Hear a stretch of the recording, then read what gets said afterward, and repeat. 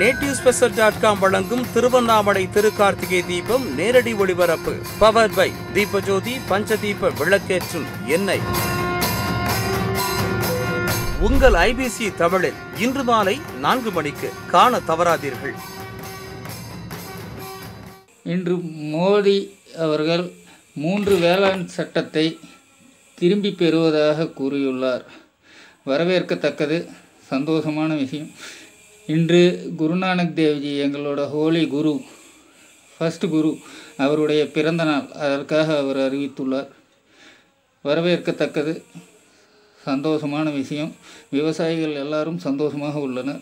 இருந்தாலும் பஞ்சாப் ஹரியானா உத்தரப்பிரதேஷ் உத்தராகண்ட் ராஜஸ்தான் இந்த மாநிலங்களில் விவசாயிகள் சீக்கியர்கள் அதிகமாக உள்ளதால் இங்கு எலெக்ஷனில் வந்து எதிர்ப்பு தெரிவிக்காமல் இருக்கட்டும் அப்படிங்கிற ஒரு நோக்கத்தில் இதை கொண்டு வந்திருந்தா கண்டிக்கத்தக்கது. ஏன்னா ஒரு ஆதாயத்தோடு இதை கொண்டு வந்தால் இது. ஏன்னா எழுநூற்றம்பது பேர் இங்கே இறந்து எழுநூற்றம்பது பேர் இறந்ததுக்கப்புறம் இதை அறிவித்ததே வந்து எங்களுக்கு மனசு உளைச்சலாக இருக்குது. ஏன்னா கஷ்டமாக இருக்குது. அவங்களோட இறக்குறதுக்கு முன்னாடி ஒரு பத்தொம்பது பேர் இறந்தப்போ அறிவிச்சிருந்தா கூட நாங்கள் ஏற்றுருக்கலாம் சரி இவர் வந்து மனசார இது பண்ணுறாரு அப்படிங்கிறது. இருந்தாலும் இந்த சட்டங்களை வந்து டிவியில் வந்து அறிவித்து ஆயிரத்தெட்டு தாட்டி இவர் அறிவிச்சிருக்காரு. பதினஞ்சு லட்சம் தரேன் தரேன் தரேன்ட்டு புல்லட் ட்ரெயின் வருதுன்ட்டு.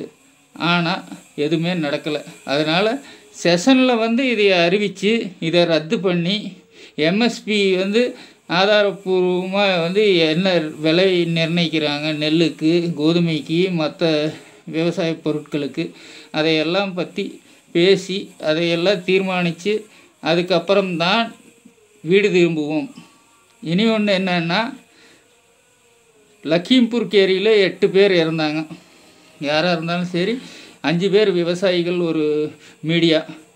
அதையெல்லாம் வந்து நம்ம வந்து இது பண்ண ஒதுக்கி வைக்க முடியாது. ஏன்னா அவர்கள் தியாகிகள். அப்போ அவங்களுக்கு நியாயம் கிடைக்கிற வரைக்கும் இந்த போராட்டம் வந்து நம்ம கைவிட்டோமோ?